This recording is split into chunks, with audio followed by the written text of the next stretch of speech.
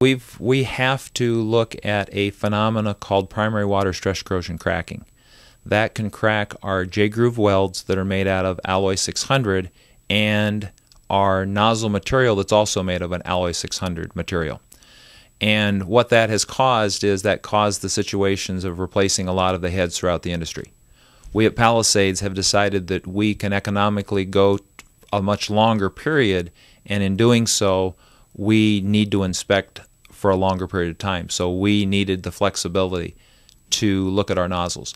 Our nozzles aren't just straight pieces of nozzle or of piping material, but they actually have tapers and you've got weld warpage and all sorts of things that you've got to you've got to deal with so you get a good inspection. We have about two and a half hours in our schedule for each one of the nozzles. Um, we've got to look at our vent line nozzles, and we've got to look at our ICI nozzles, and we've got to look at our CD, CRDM nozzles. That totals 54 nozzles that we have to look at.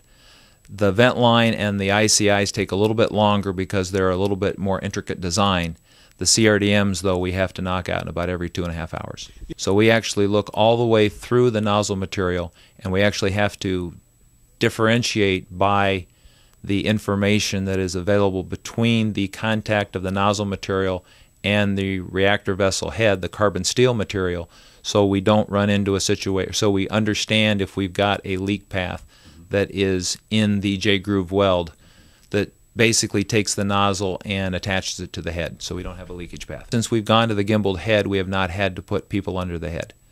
And uh, actually, we've not had to put people under the head since 2007. So ever since I've had the project, we've been able to come up with techniques to remove the robot, remove the the uh, gimbaled head or the probes, so we can actually make sure that uh, you know we don't pick up this huge amount of dose. As you well know, our head is extremely hot underneath of the uh, underneath where you don't have any shielding in front of you. There is a lot of benefits that are used. Where actually it's being considered to be used at the on Davis-Besse as we speak. Um, they are there's a there's a huge issue that as most of most everybody knows there's a huge issue with uh, a relatively short term uh, short term cracking that has occurred there.